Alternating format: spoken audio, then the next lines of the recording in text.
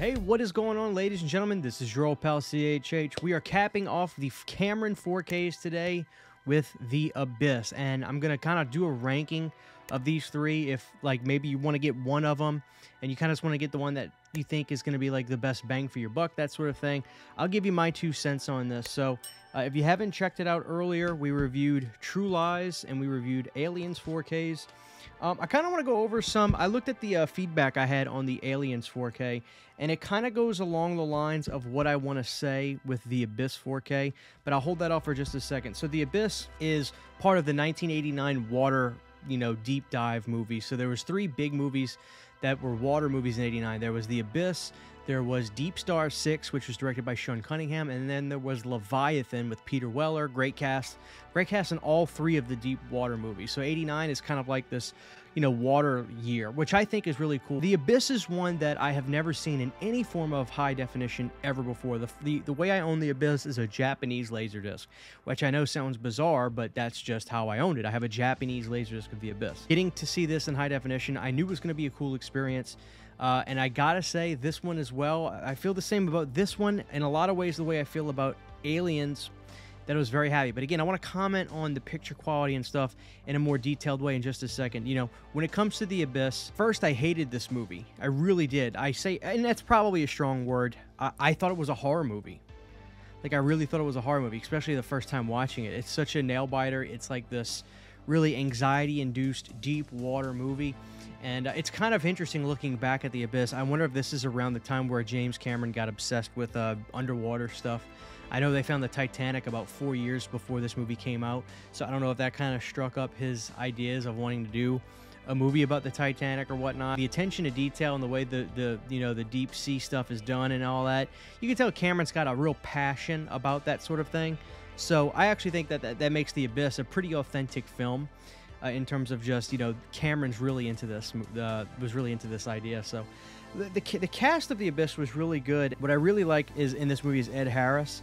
Uh, he's kind of like you know our main character, and you know there's a love interest with between him uh, and his wife really in this movie, but you know it doesn't over focus in the film. Like the main attraction here is all the deep sea stuff and what the hell is going on down here and uh, it was it's a pretty remarkable film to watch on the big screen late at night with the lights off, and um, so I like the movie a lot. It's far from my favorite Cameron film, but out of the three, this was the one I was the most excited to see in high definition because I had not seen it in any form of definition above 480p, really 360, I think. But I don't know. Let's talk about the special features real quick. We'll look at the back of this and go over it real quick. First things first, it includes the 89 theatrical version and 31 minutes of extra footage in the 93 version. Alright guys, on disc 1 it's the 4K with the theatrical and special editions. On disc 2 we get the Blu-ray with theatrical and special editions. And on disc 3 it's the bonus features. We got a deep dive, a conversation with James Cameron, which was nice. The legend of the legacy of the Abyss, excuse me, Under Pressure, Making the Abyss archives, stills and videos including the shooting script, original treatment, storyboards and more. This does have Dolby Vision and 7.1 Dolby Atmos. Again, for, for the record, you know, this has two versions of the film the 90, 1989 theatrical and the 1993 special edition with 31 minutes of additional footage. I I prefer the theatrical. Like, I, I usually, nine times out of ten, nine times out of ten, I've always, I'm always a theatrical guy. I don't like watching extra footage and stuff. Like, uh, with the Aliens, I watched that one alone. Uh, the theatrical by itself, which I think is perfect. Um, I'm not saying I dislike the 1990 version, but I just I love the theatrical version of Aliens. It's my favorite version. So when it comes to the picture quality of this one, to me it reminded me a lot of Aliens. But I want to talk about th this. I, I want to say this too. This is really important. I paid for these. Okay, I, I'm not hating on anybody that got got sent these. I mean who wouldn't want to be sent these movies, you know, for, uh, to review or talk about. So I did not get sent these. So I have literally nothing to gain here. Like it doesn't matter to me whether you buy it or you don't. And I've been doing this so long, like buying movies and, and collecting physical media, that I'm way beyond the point of needing to justify buying stuff like this to convince you to do it. I, I, could give a rat's ass, quite frankly. I just want to make that clear before I talk about this. There were some comments on the Aliens one of people claiming uh, they thought it was waxy. Now, if you watched it and that's how you feel, I, I can't I can't argue with that. That's the what you, that's what you see, and that's the way you're perceiving it. respect. I totally get that. But I wonder if there are, are, were a number of people that may assume it looks waxy because film grain is kind of taken out of it. Um, I just I I would never call the way either of these looked waxy, not even remotely. As a matter of fact, I think picture quality wise, the one that looked the most remarkable.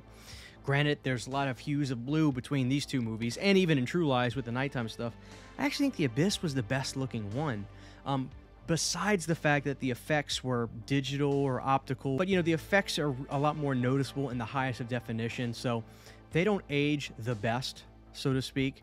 Um, but you know it is what it is right it's it's whatever you know so the effects even though they don't age the best going on the super high definition i thought the picture quality of everything with ed harris and the, in the ship the submarine and everything and the water scenes i mean this movie is visually stunning to watch in high definition I, I didn't think that these looked waxy at all. Like, as a matter of fact, that'd be one of the last words I personally would use to describe that.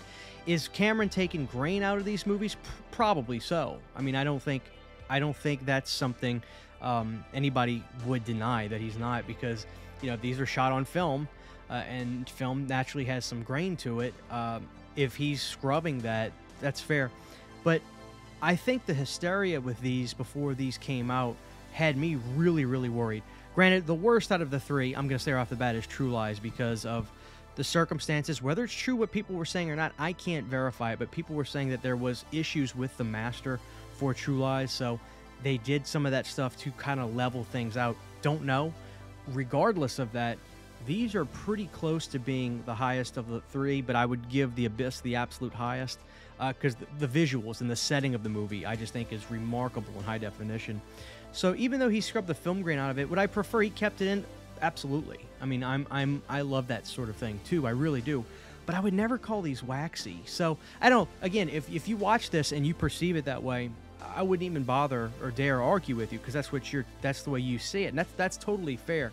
I'm just saying if you haven't seen these and you assume they look waxy because maybe Terminator 2 or something, I would not even remotely use the word waxy to describe these. As a matter of fact, these still look these look really good.